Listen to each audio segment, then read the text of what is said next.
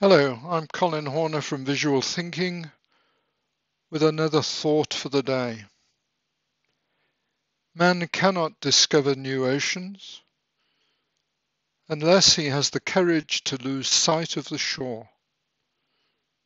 Andre Gide.